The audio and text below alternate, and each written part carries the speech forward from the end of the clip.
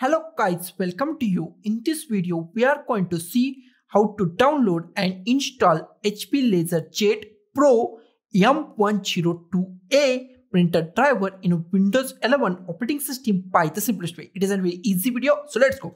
First of all, I just go to the any web browser, just go to the any web browser that you like and here just type download and install HP LaserJet Pro M102A and hit enter key on your keyboard.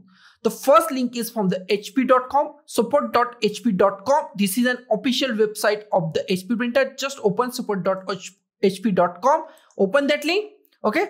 Now here is the our website and this website automatically detect our operating system. But Windows 11 is not available with this printer. So it's redirect you to the Windows 10 and Windows 10 drivers are 110% work with our printer. So don't worry about this and just download this Windows 10 drivers. Okay, so just go to the all drivers and here we find drivers product installation software and just click on the download. Okay, now just click on this download. It's redirected to the another page and in few seconds our download is started. Okay, now just click on OK. Now our download is started on desktop. You can just download it on anywhere that you like. Okay, now I just go to the my web browser and minimize it now our download is starting and it's take few seconds to complete it. So be patient and wait for some time. Now just close it. Now here is the our setup file. This is our setup file. Basically this setup file is a zip file. We can unzip this setup file. So right click on it. Just go to the show more options and just click on the extract files and just click on OK. Now extraction process is started. It's take few minutes. So be patient and wait for some time. Okay. Now here is the, our folder, double click on our folder. In this folder, we has all drivers that we need. Okay. Now just close it. Now we are going to install it manually. That is the simplest and very fastest way and secure way. Okay. So we just go to the start and just type control panel and click on the control panel. Okay. In control panel, just find devices and printers. Just find devices and printers. Okay.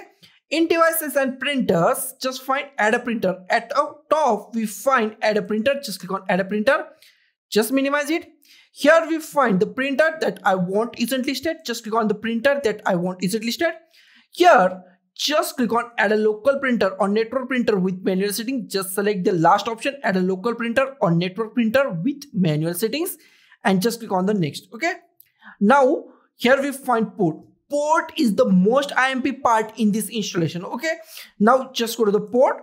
If you find dot four underscore 001 HP printer device in port, just select HP printer device. But if you not find HP printer device, then the next option is USB. Just select any USB port, USB 001, 002, 003, 004. Just select any USB port. I am selecting USB port. You can select USB port or HP port. Okay. Now just go to the next. Now just go to the Have Disk, browse, just go to the desktop. Our drivers are on the desktop. Just go to the our file, okay, and just double click on it. Here we find many files. Just click on any file. All files are our drivers. Okay, just click on any file and just click on OK.